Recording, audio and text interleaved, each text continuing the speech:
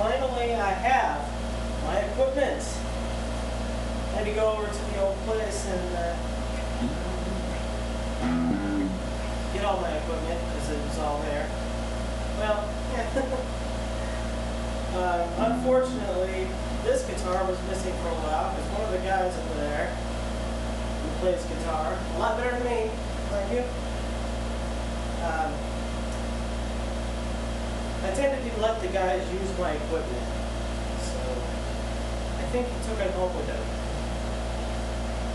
So hopefully I'll get up some of my uh, more electric songs on here. You know, to me, playing with the acoustic is a lot harder than playing with this. A lot harder than playing with this thing. I don't know what it is, the action on the guitar, positioning. I find it a lot easier.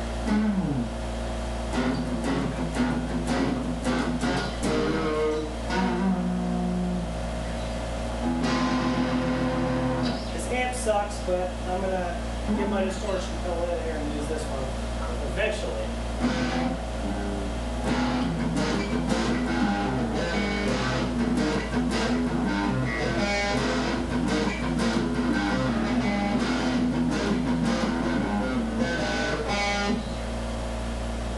That's all.